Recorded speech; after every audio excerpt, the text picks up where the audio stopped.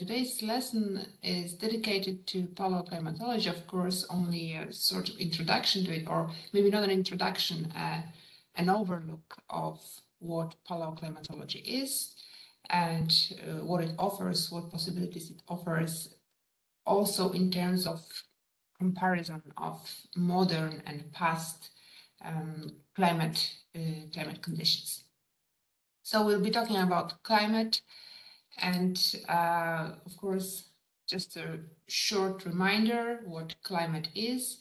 So it's a, basically it's a set of parameters like temperature, humidity, atmospheric pressure, wind, precipitation, uh, and also other parameters that can describe uh, the conditions that uh, the conditions of uh, on Earth, but the major difference between climate and weather is actually time, time interval. So uh, in order to be able to talk about climate conditions uh, in contrast to, to the weather, we need a longer time intervals, uh, data sets from longer time, time periods. Usually we talk about 30 years of data, 30 years of, uh, of data sets of, of measurements to compare to, to be able to talk about uh, climate, which is of course not the same uh, everywhere on Earth. We have climate zones and it, those conditions are influenced by many factors such as altitude, latitude, also water bodies uh, and ocean currents and, and so on. Uh, so we we we tend to measure things uh, for all the things that surround us, all the parameters, all the conditions, and it's not only a, a modern thing or a modern trend.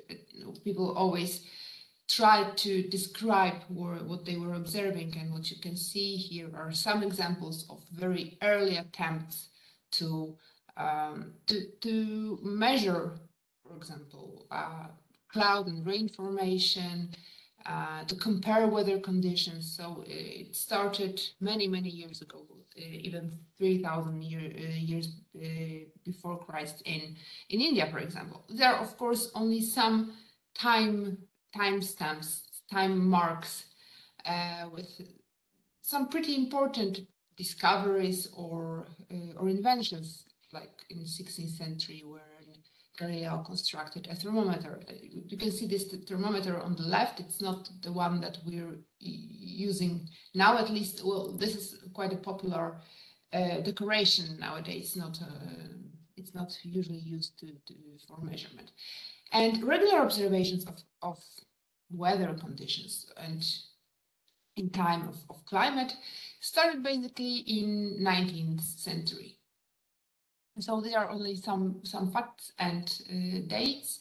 And of course, we have recent decades and recent decades uh, are marked with an increase of interest in climate change. We have modern equipment, we have satellite observations which changed uh, a lot and allow us to, uh, to observe a lot more accurately and a lot more uh, parameters. So um, the regular measurements, like I said, they started back in 19th century.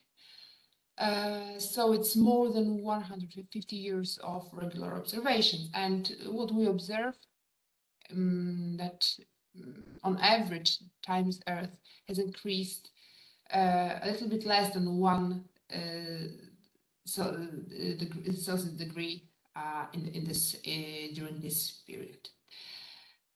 so this is what what we can compare because we have records, we have uh, data, we have documents. But uh, what paleoclimatologists seek is uh, is something a little bit different because uh, they're trying to explain some climate variations, uh, but more in not in the recent past, but even in, in not in terms of our times, but more like geologic uh, periods, uh, beginning with the time of the Earth's formation, so uh, a really long, long time ago. Uh, so the, where where is data drawn from? The research data is mostly drawn from um, geological research, but also astronomy, atmospheric physics, meteorology, geophysics, uh, botanical research, mostly paleobotanical research. So there are lots of different branches of, of science that contribute to paleoclimatology. And again, what is traced by paleoclimatologists is temperature, precipitation, also, for example, salinity of, of water, of ancient uh, oceans. Of course, uh, in some cases, some um, individual events can also be traced and identified, such as uh, big fires, big catastrophes, catastrophic uh, events. Uh, one of the most important terms that will, is being used in paleoclimatology is a proxy. And proxy is in general something that represents something else indirectly. For example, in some elections, a voter can choose another person to cast the vote and there is voting by proxy. It, at least in, in some countries, it is legally uh, possible. So we have many proxies for the past uh, climate, which enable scientists to, to, reconstruct those conditions, those climatic conditions uh, from uh, from the past. They can be used individually, but most it, it is most efficient when th those proxies are used uh, or brought together uh, to to help piece together the past climate of, of course, it's a past climate of particular time period and uh, of particular region, just like, uh, just like today. Uh, if we are going deep into the past, it means that we, and we find something which is a proxy, we'll learn some examples of proxies soon. Uh, we need to uh, place them somewhere in time. So it means that we have to be able to determine their their age. So uh, there is a variety of analytical techniques which are used to determine the age of such uh, of, such objects of, of such um, proxies. Uh, so, for example, uh, radiocarbon um, techniques and uh, are, are more, more, more popular, but also still uh, counting tree rings, uh, which is also tree rings or uh, trees in general are also a type of proxy. And by counting the tree rings marking their uh, annual uh, growth can allow us to to determine to determine how old was the tree, for example, when it was uh, when it was cut down.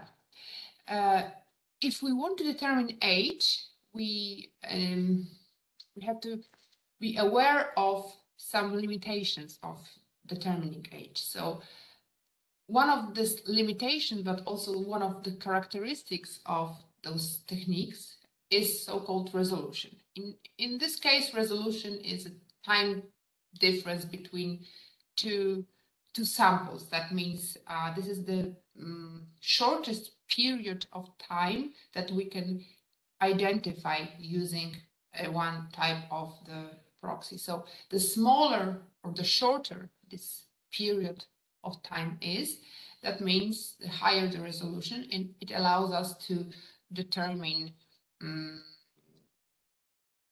paleoclimate uh, from year to year on or every 10 years or so. Uh, but in some cases, in some proxies, resolution is not that not that accurate. So this time period is much longer, and our findings are not that accurate uh, as well. So we can determine age only between like 100,000 years and uh, give the data from uh, not determining the, the exact moment when the data was dropped. Uh, so here are some examples, only selected examples of, um, of some proxies. And as you remember, the title of this lesson is written, starts with written in the Arctic. So you uh, might identify some of them directly with the Arctic region, but at the end I will try to prove you that actually many of them, if not all of them, are used also in the Arctic to determine uh, ancient past climate in, in this region or, or in polar regions in general. So the first proxy I would like to talk about is uh, pollen. So pollen grains. Pollen grains are, we might say, small, very, very tiny reproductive bodies of seed plants. So each of these grains, and as you can see here, uh, has its very own unique shape, unique structure, and it depends, of course, on what plant it comes from. And the walls of the, this, those reproductive bodies are uh, made of a substance known as sporopollenin, sporopollenin. And this is very, very chemically stable and very, very strong. Uh, so it, uh, allows the pollen to survive for many, many, many years, as, as, as you will see. So uh, when pollen grains are washed or were washed or blown into some bodies of water, so this external wall, this external substance, protective substance, allows them to be preserved in uh, sediment layers in the bottoms of, of, ponds, of lakes, or even of the, of the oceans. And now when they're found, because of their unique shapes, and as you can see here, uh, scientists can take, for example, a core sample of the sediment layer and determine what kind of plants were going at that time when this sediment was uh, deposited. So we determine time, age of the uh, of the sample, and then we know what types of plants were growing in the area, which allows the scientists to presume climate at the time, using knowledge about, of course, no uh, modern but also uh, historical distributions of plant in, in relation to climate. So uh, we have we have a core sample. We find uh, pollen, uh, and de depending on what pollen uh, is is found, we know that at that time, uh, for example, it was more humid or or less humid, so there was less rain or more rain, and of course the temperature as well. For example, um, usually when spruce pollen is is found, it means that at that time at that period, at that place, it was rather uh, rather cold. So, it, but of course, it allows to conduct much more sophisticated research, comparing trends in vegetation. Um, of course, from, from, from for example, last few thousands uh, of years to recent trends in vegetation. It also can help uh, can, can help scientists determine whether human activities had significant impact of, on ecosystems, on, uh, on plants. Uh, it, of course, it's not that only one pollen, one type of, um, of plant proxy is found in, in a sample. Uh, what needs to be done is a count of, of pollen, count, of these proxies and which one is uh, which one is dominant. And uh, so special diagrams of the type and abundance of pollen in, in the samples are then generated. I mentioned tree rings as a way to determine age, but also tree rings are, or trees are uh, proxies themselves. So fortunately, you don't have to cut down the tree to study tree rings. Um, so collecting a sample is is possible with uh, with also with an instrument called an increment borer. It's here on the left on, on, on the photo. So it extracts like a thin strip of wood and this, this strip of wood goes all the way to the center of the tree and you pull the strip out and you can count the rings on the strip of wood. Uh, and the tree, of course, remain, remains uh, healthy. Another interesting technique which allows us to go even further back in time because trees have a rather limited time li- lifespan. And uh, what allows us to go a little bit further back in time is using wood from old buildings, uh, especially especially in Europe, because you know, in uh, at the time when they were cut down, it was at least 500, 600 uh, years ago. So we can go back from from there. What is identified uh, identified um, thanks thanks to tree rings?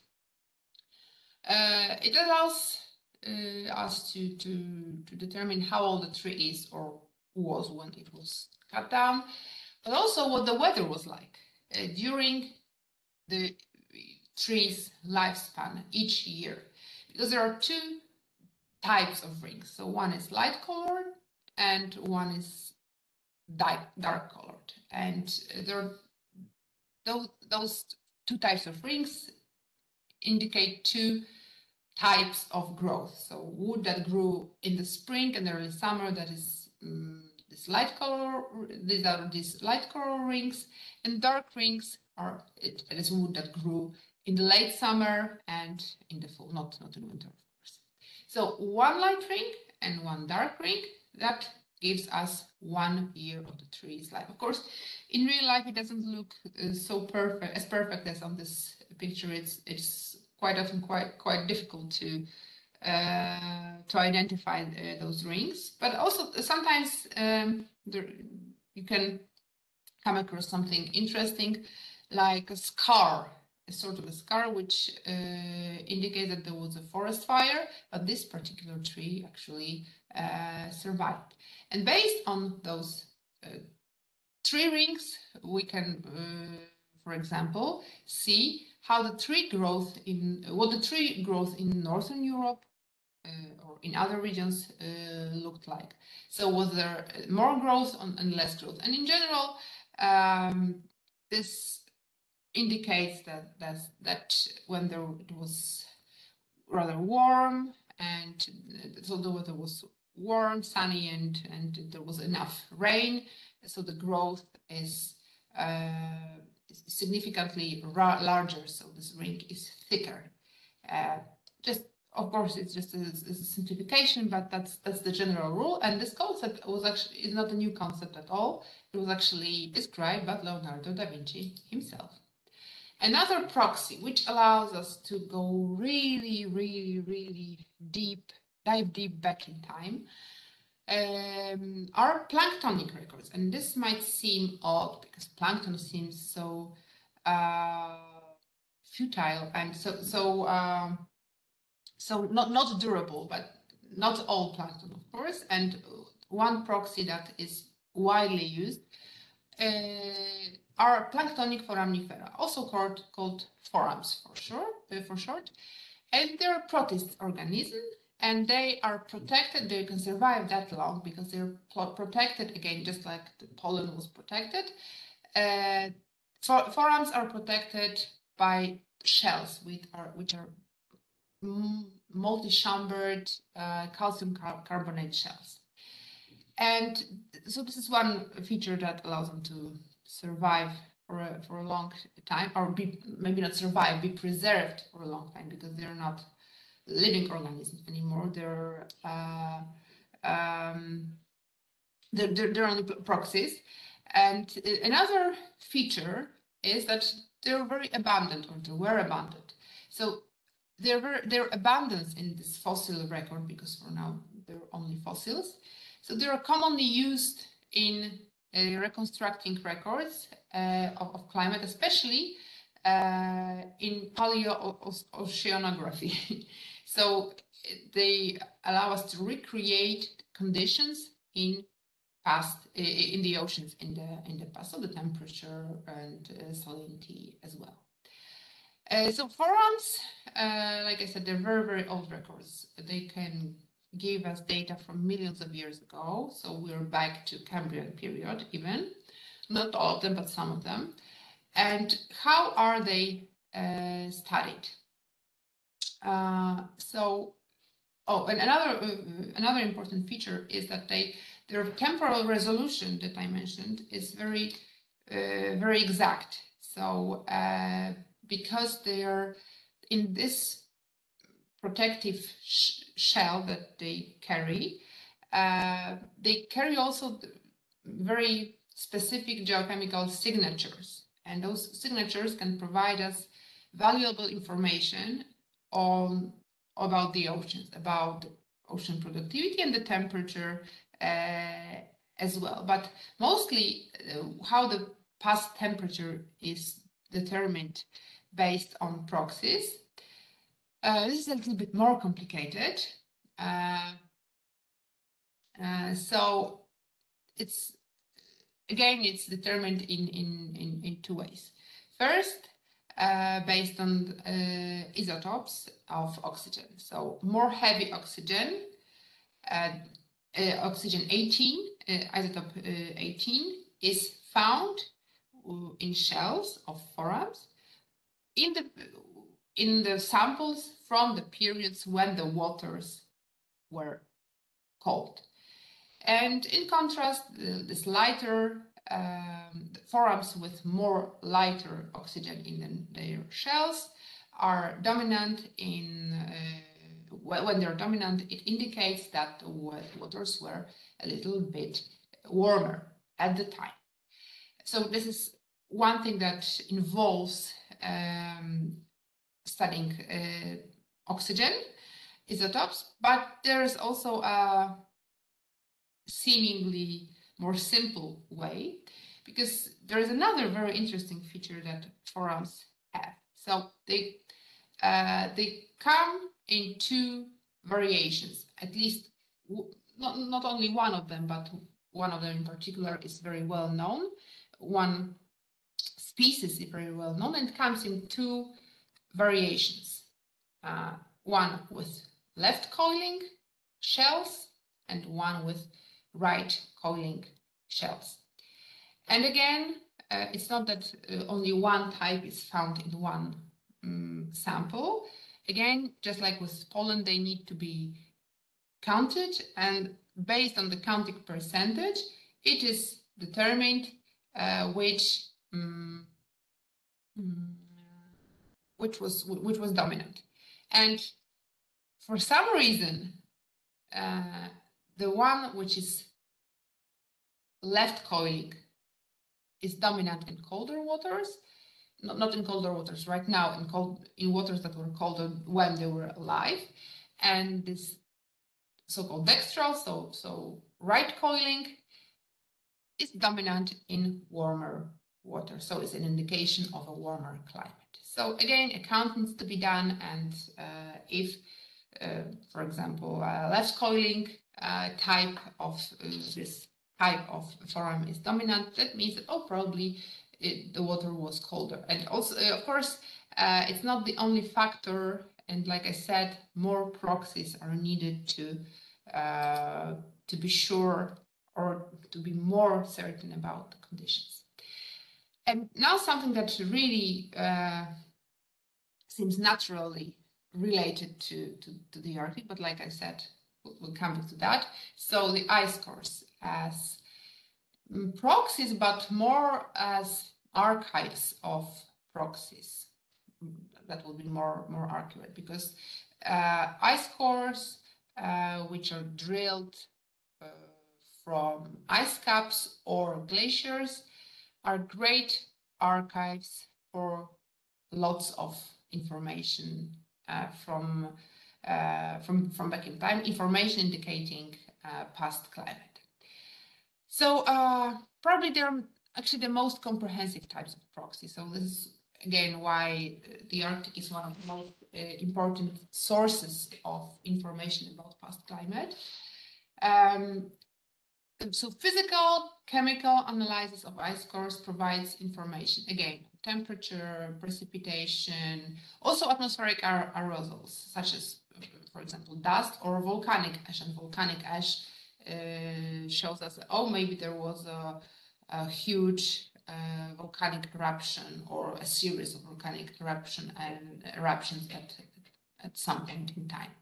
It even indicates levels of solar activity. So, and another great feature of ice cores as proxies or archives, they can provide data with a resolution as fine as annual resolution, yearly uh, resolution. So, mm, and some of the records span periods of hundreds of thousands of years. So maybe not millions of years, just like in case of forams, but still pretty good, uh, pretty good results. Uh, so the first ice cores are extracted from uh, glaciers, but the most interesting ones are from the, the ice caps and uh, from from ice sheets in general, especially from two locations, uh, from the Antarctic and from Greenland. They're the most uh, interesting sources of information and of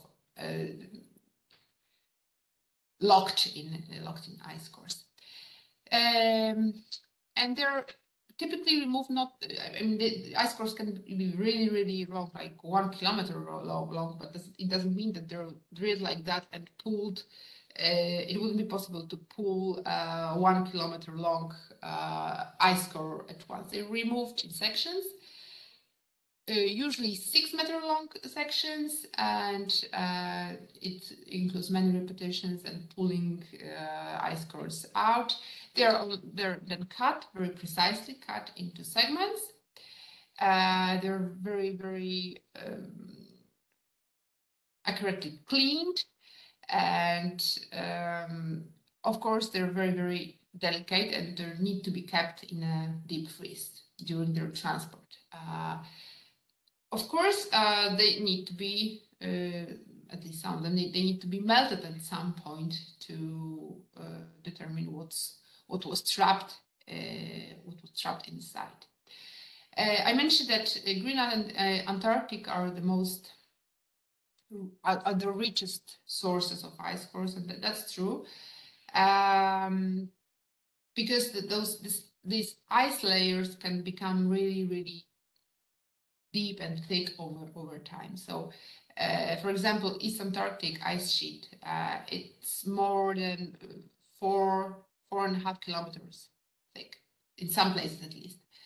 And that means millions and millions of years of, of records. So what can be trapped, uh, uh what can be trapped in, in there and what is being studied while studying uh, ice cores. Uh, so, for example, the measurement of gas composition. It's a very direct measurement. So, uh, tiny bubbles on, of literally ancient air are trapped in deep ice cores. And these, uh, this can be, of course, extracted, analyzed using um, some sophisticated equipment such as max, um, mass uh, uh, spectrometers. Uh, so this is the composition of air. Uh, for example, how much CO2, how much carbon dioxide was there, which, as we know, is strictly related to the temperature. But the temperature, in contrast, is not measured that directly. It cannot be. Uh, but again, just like in case of forams, it is um, it is inferred from from isotopic composition. Uh, this time it's from the isotopic uh, composition of water molecules. And water molecules, of course, are released by melting the, uh, the ice core. So then we are able to compare, was it warmer or was it colder with particular uh, air composition at that period. So the, again, the, the, the isotopes which are of particular interest for the climate studies are oxygen and, and hydrogen uh, this time as well. And um, or um, all those isotopes which are uh, of interest in that case. Again, uh, oxygen 16, oxygen uh, 18, uh, and also uh, hydrogen isotopes um, are considered very stable because they do not undergo radioactive decay.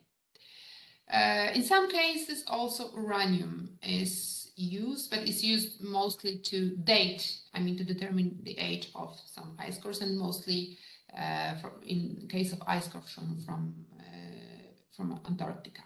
So again, then we can produce those graphs um, indicating uh, connection between, for, for example, CO2, uh, CO2 in the atmosphere and temperature, but also other factors such as dust, volcanic ash. Uh, we usually see that uh, with a higher amount, higher content of, of the ash, the temperature usually tends to get, uh, get lower.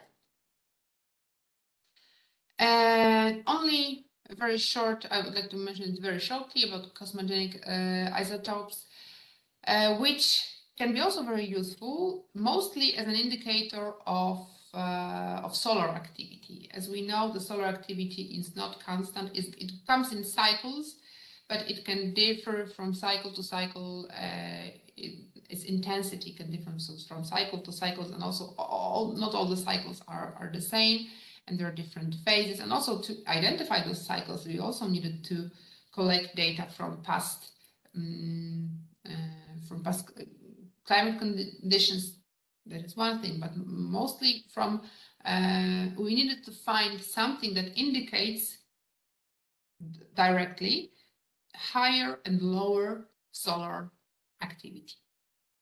Because changes in solar activity within those cycles uh, for example, does not only mean the fluctuation of the amount of energy that is being sent from the sun towards the earth and reaching the earth, rather reaching the earth. There are also other changes uh, that we can use. Uh, so there are changes, for example, in the intensity of the magnetic field. And magnetic field, of course, spread by, by the sun. And this field uh, protects the solar system from uh, cosmic radiation. Uh, and it does rather a good job, but it protects us more or less depending on the solar activity. So the, those, this cosmic radiation, those accelerated charged particles, um, were once emitted in our galaxy and are just rushing through, through, through space.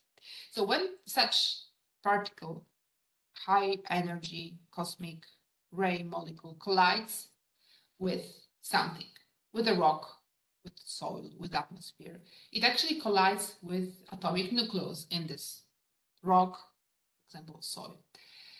Um, and it can undergo uh, transformations and cause the formation of some isotope, which is this time was not is not that stable. It's more like a radioactive isotope. And those isotopes would not normally exist like naturally on Earth. Uh, so the only way they can appear on Earth is because of this collision with cosmic uh, with cosmic rays. With the, and we, we, if we find a lot of those radioactive, not natural to Earth uh, isotopes, it means that there was a lot of collision. And if there was a lot of collision, then again, by proxy, we know that uh, we weren't that well protected by our star, by sun.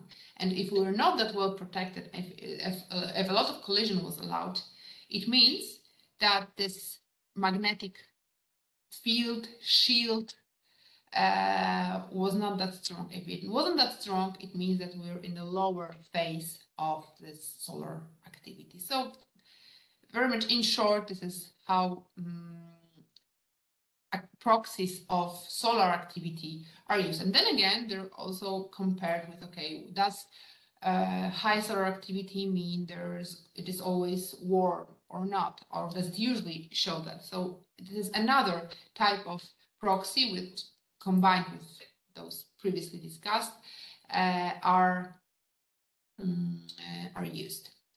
And as I promised, I would like to show you that um, not only those ice cores, which is obviously drawn from polar regions in general, uh, the Antarctic and also the Arctic, uh, can be um, classified as proxies used by paleoclimatologists to uh, to determine past climates, which are directly related to, to, to the Arctic. That's not the case because uh, now we do not identify Arctic with a lot of trees, with a, with a lot of uh, green, etc.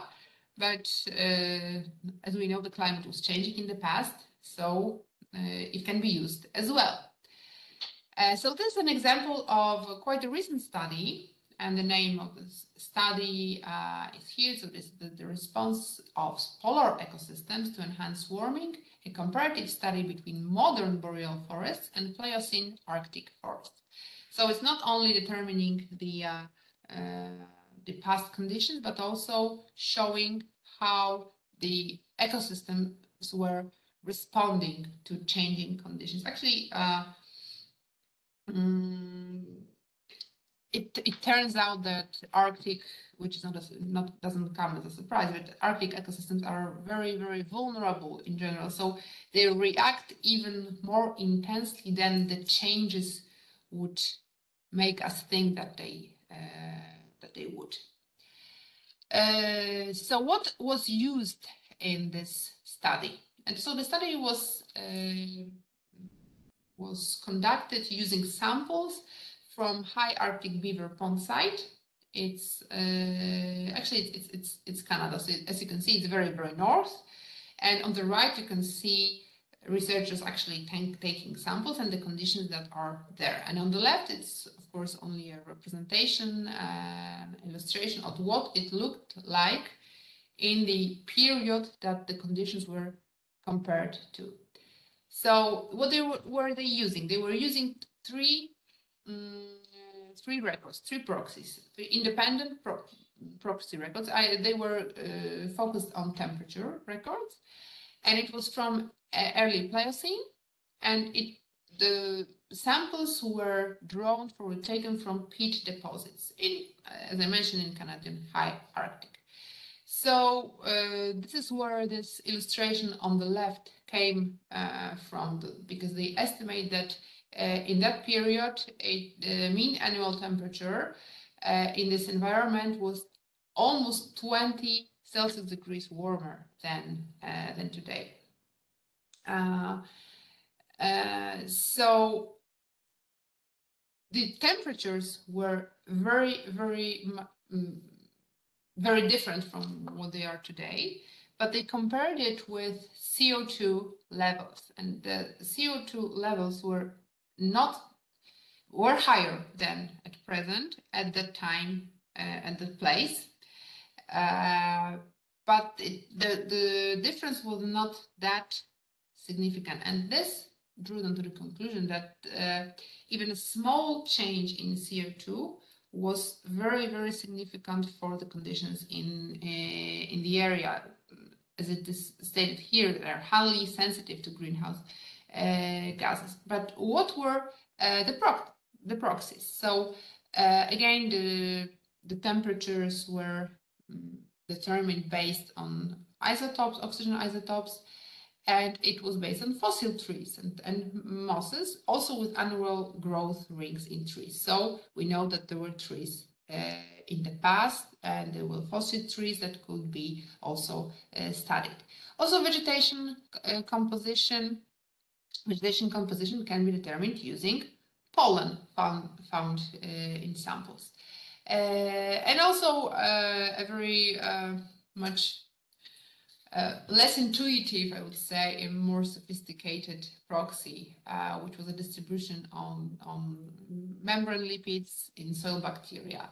And they, they seem to correlate to temperature, but this is, this is another very, very sophisticated type of, of proxy. Uh, as you can see, they can be as almost evident as tree rings, but also as sophisticated and not intuitive for a normal person, just like uh, membrane lipids composition find this in soil bacteria. So um, the Pliocene actually is uh, particularly interesting when compared with other ancient, even ancient intervals uh, of warm global mean temperatures, uh, because uh, the uh, this atmospheric CO2 levels like I said, are estimated to have been like 390 parts per million by volume. So um, only slightly higher than, not than today, than pre-industrial uh, level. So it, it might also open one uh, um, one result and one um, uh, finding would be okay. So the so those ecosystems are very very fragile, very very vulnerable to greenhouse effects, or maybe there were other factors that also influenced this uh, this period in terms of uh, temperature. And uh, it's also very interesting that we all just to close our today's lesson, that we can almost draw, uh, take, take a photo or draw a picture of uh, ancient, uh, ancient ecosystems, uh, even from, from Pliocene, so long, long time uh, ago. um, so um, we can determine with high level of certainty what it looked like.